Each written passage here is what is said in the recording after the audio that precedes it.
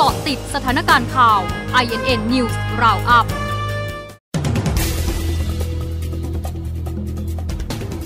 นาฬิกา10 นาที ปปชคาดยื่นสารดีกาเอาผิดปรีนาปมบุกรุกป่า 11 มีนาคมนี้ ช้าสุดต้นสัปดาห์หน้า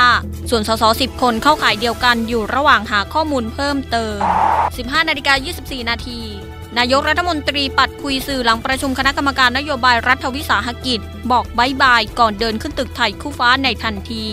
15นาฬิกา36 นาทีจุรินหัวหน้าพักประชาธิปัตย์เผยได้รายชื่อรัฐมนตรี 12 มีนาคม ก่อนชงนายกรัฐมนตรี ย้ำยังยึดโควต้าตามเดิม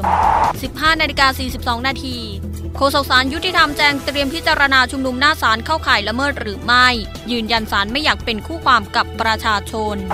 ล่าสุด 15 นาฬิกา 50 นาที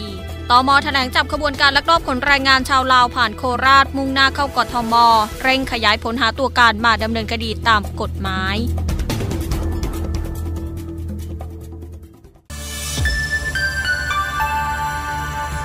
เกาะติดสถานการณ์ข่าว INN News Roundup